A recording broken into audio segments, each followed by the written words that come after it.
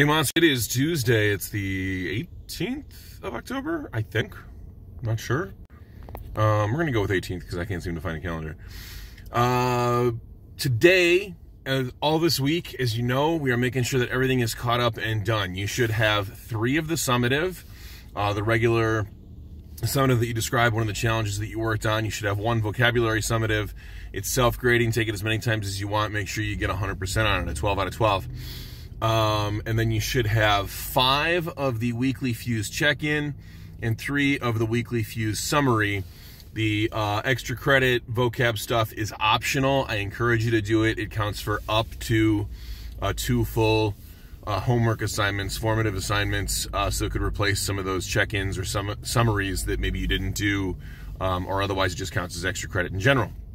That's what I've got for you for today. Uh, please take care of yourself more than. Stay safe. Do your work. Wash your hands. We love you. Happy Tuesday.